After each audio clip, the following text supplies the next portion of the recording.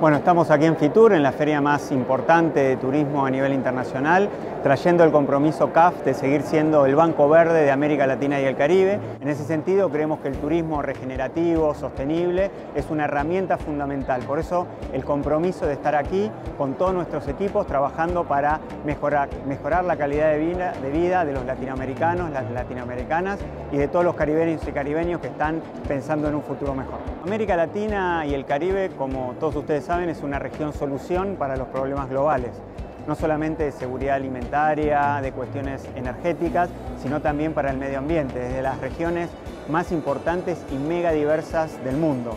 En ese sentido, la creación de la agenda CAF en turismo, eh, haciendo hincapié en cuestiones regenerativas, de sostenibilidad, es un punto fundamental que vamos a trabajar en los próximos años.